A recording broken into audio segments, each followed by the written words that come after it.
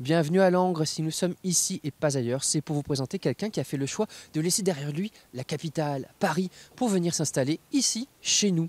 Un drôle de paroissien. Il se présente comme étant un ermite, mais il fréquente aussi des actrices. Curieux, n'est-il pas?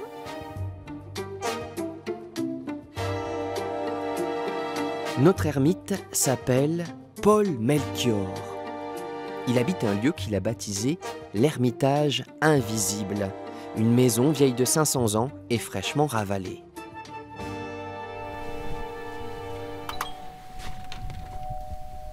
Bonjour Paul. Merci de nous accueillir dans votre nouvelle maison. Il a abandonné Paris, les bords de Seine et le quartier de la Bastille pour une vue sur le lac de la Lièze. Ah, ici, vous avez modifié l'espace? Oui, on arrive d'un garage, d'un ancien garage, et on rentre dans une ancienne cuisine. Et on a retrouvé bah, l'espace d'origine, c'est-à-dire un rez-de-chaussée sans aucune cloison, aucun mur de refend, de séparation, de soutien au centre. Voilà. En cinq siècles, la maison a connu bien des occupants.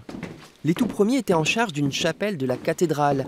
Il y eut ensuite un coutelier, un menuisier, un marchand de vin se servit de la cave pour y stocker sa production, tout comme Paul, sauf qu'il s'agit de livres. Et aujourd'hui, est-ce que les conditions d'hygrométrie sont correctes pour euh, conserver euh, votre stock de livres C'est parfait, ça ne se déforme pas, donc c'est aussi une cave à livres. Il ne faut pas que ça dépasse quelle valeur? 85, pour ne pas avoir de soucis. Paul Melchior, de son vrai nom Pascal Maurice, est éditeur. Voici l'un de ses premiers ouvrages consacrés au comédien George Wilson. Il s'agit de petits tirages, moins de 1000 exemplaires. Paul a aussi publié des textes religieux, des psaumes. Cela correspond à une quête spirituelle qui le conduit à se décrire lui-même comme un ermite. À, quoi ça peut correspondre d'être ermite en, en 2015 en France? À rien. Et c'est le but d'ailleurs. Euh, non, vivre une vie solitaire, calme, tranquille, euh, loin des, choses inutiles. Vivre, voilà, simplement. Et ça vous a guidé vers Langres, cette euh, envie? Oui, ça aurait pu être une autre ville, mais ça aurait, il fallait que ce soit au nord de la France. et puis, il fallait que ça corresponde aussi un petit peu aux périodes qui m'intéressent. L'architecture de Langres correspond à des périodes qui m'intéressent, 16e, 17e siècle. Regardez-moi bien, messieurs, mesdames. Surprise, la regrettée Colette Renard, l'interprète d'Irma la Douce et des Nuits d'une demoiselle. C'est à Paul Melchior, comme producteur, que l'on doit son dernier disque en 2002. Une chose en entraînant une autre, notre ermite éditeur s'est retrouvé à publier une correspondance avec Rebecca Hampton, actrice comme Colette Renard le fut dans Plus belle la vie. Est-ce qu'il y a une fascination pour, pour, pour, ces gens-là euh, La fascination, c'est un bien grand mot, mm. mais un, intérêt fort qui a toujours existé parce qu'il représente l'éphémère. Alors, notamment pour les artistes de spectacle vivant.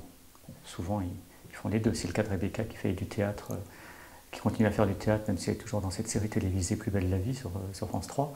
Mais c'est ça, ce qui est intéressant pour moi, c'est le fait qu'il montre quelque chose qui disparaît au bout d'une heure, une heure et demie.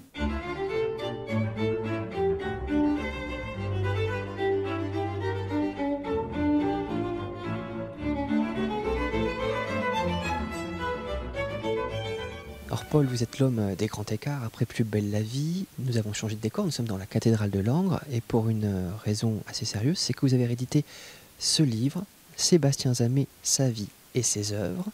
Alors, qui était Sébastien Zamé? C'est quelqu'un qui avait un rapport avec Langres Tout à fait. Il a été évêque de Langres pendant 40 ans, de 1615 à 1655.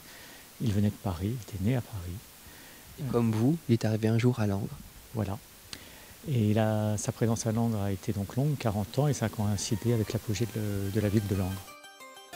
Au XVIIe siècle, l'évêque de Langres était un grand seigneur, duc et père de France. Sébastien Zamé n'a aucune rue à son nom, pourtant Langres lui doit son hôpital, ainsi que l'installation de plusieurs ordres religieux qui ont laissé de beaux bâtiments derrière eux. Je ne veux surtout pas faire de jaloux, mais je dois avouer que Langres est ma ville préférée de la région. Un livre d'histoire à ciel ouvert en face de nous, c'est une maison gothique. Alors dites-moi Paul, comment ça se passe pour vous depuis que vous êtes langrois, depuis quelques mois Très bien, je suis très heureux d'avoir euh, fait ce déménagement de Paris à, Langres.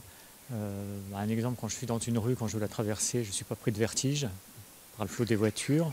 Euh, les gens sont souriants, vous disent bonjour quand vous rentrez dans un commerce. j'ai l'impression d'être sur notre planète. Je suis très heureux d'être ici.